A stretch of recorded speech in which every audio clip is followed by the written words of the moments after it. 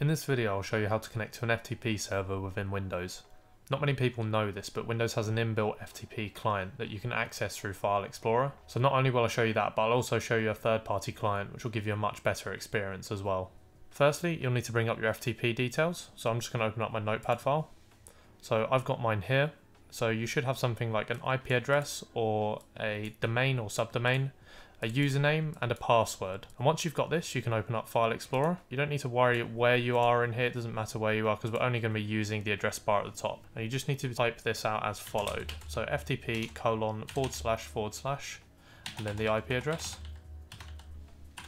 and hit enter. And you'll be asked to log in. So as I've already got my details here, I'm just going to type them in again anyway. Put my password in and hit enter to log in slowly but surely we have connected and I can see there's already a, a file in here. Just to test that this is working though, I'm going to open up another folder here where I've got a test file uh, and I'm going to copy and paste that in.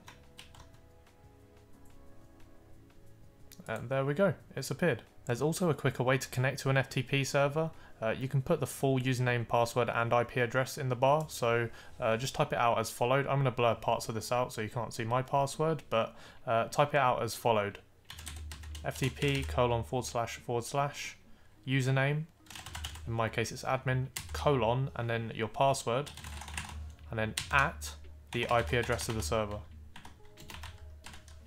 and if you hit enter it should just take you into the, directory automatically if Windows File Explorer doesn't quite cut it, then you can use WinSCP. This is a free program. The link for this will be in the description below. Um, but let me just show you this now. So this is the screen that you'll see once you've downloaded it.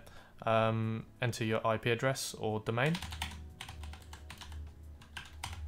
and your username and password and ensure that FTP is selected. It's good to use a program like this if you're working with multiple servers because you can simply just save your session and next time you open it you can just double click and come straight into it. Generally speaking, using a third-party program like this is much more stable uh, and will give you a much better experience than using the default Windows File Explorer one. That's it for me. If you enjoyed this video, be sure to give it a like and subscribe and I'll see you in the next one.